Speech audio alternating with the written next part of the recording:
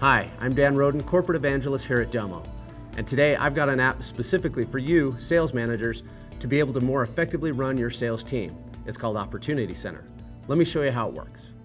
So here we have Opportunity Center, pulling data directly from our CRM. And as you can see, I have a list of my biggest opportunities on the right-hand side.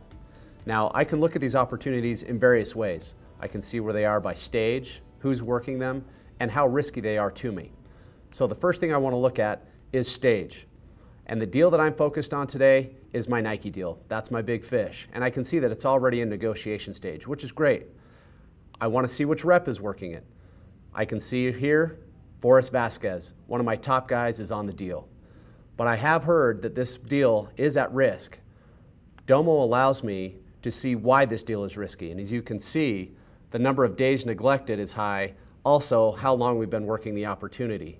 Therefore, anything on this right-hand side is considered a risk. But by a simple click, I can view the details of why this deal might be risky. Domo is able to pull in not only structured data, but unstructured data, like these notes, and these notes tell me the deal. The CIO from Nike is pushing back on some detailed technical specs, and this is why this deal is stalling. Now I am better informed to go work with my rep to get this deal pushed through pipe. Now that's just an example of one deal. Imagine being able to do that for all of your deals in your current pipeline. That's the power of Opportunity Center. Thanks for watching, and be sure to check out more Domo app videos.